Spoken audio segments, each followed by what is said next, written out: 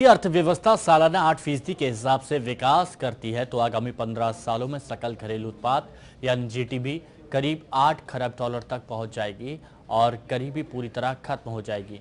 नीति आयोग के उपाध्यक्ष अरविंद पनगड़िया तो कम से कम ऐसा ही मानते हैं।